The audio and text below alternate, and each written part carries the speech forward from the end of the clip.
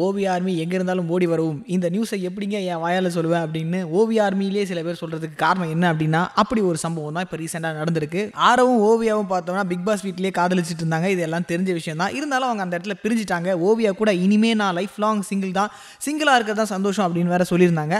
அவங்க அப்படி தான் இருந்தாங்க. ஆனாலும் பணம் பேர் புகழ் இது எல்லாத்தையும் விட சந்தோஷம் அப்படின்னு பார்த்தோம்னா அது அன்பு கிடைக்கிற ஒரு இடம் தான் அன்பு இருந்தால் மட்டும்தான் சந்தோஷமாக இருக்க முடியும் அப்படின்னு சமீபத்தில் அவங்களுடைய கருத்தில் சில மாற்றங்கள் இருந்தது. அது மட்டும் இல்லாமல் இன்னமும் அவங்க ஆரவை லவ் பண்ணிக்கிட்டு இருக்கிறதாவும் சில தகவல்கள் வெளியாச்சு. இது நிரூபிக்கிற வகையில் பேங்காக்ல ஆரவும் ஓவியாவும் ஒன்றா சுற்றுற மாதிரி ஒரு ஃபோட்டோ வேற வலைத்தளங்களில் படு வேகமாக பரவிட்டு வருது. இதை பார்க்கும்போது என் கண்ணை என்னாலேயே நம்ப முடியலையே அப்படின்னு ரொம்ப க்ளோஸாக பார்க்குறவங்களும் உண்டு. இருந்தாலும் இது உண்மைதான். ஆரவும் ஓவியாவும் ஆரம்பத்துலேருந்தே லவ் பண்ணிட்டு இருந்தாலும் சில பல விஷயங்கள் காரணமாக பிரிஞ்சிருந்தாலும் இப்போ அவங்களுடைய லவ் விட்டு கொடுக்க முடியாது இல்லையா? அதனால் அவங்க ஒன்றா சேர்ந்துருக்கலாம் அப்படின்னும் சில பேர் பேசிக்கிறாங்க. எது எப்படி இருந்தாலும் ஸோ ஆரவான் ஓவிய லவ் பற்றி நீங்கள் என்ன நினைக்கிறீங்க?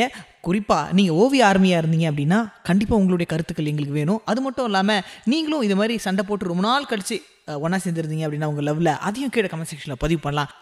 அது மட்டும் இல்லாமல் மறக்காமல் சினி உலகத்தை சப்ஸ்கிரைபும் பண்ணுங்கள்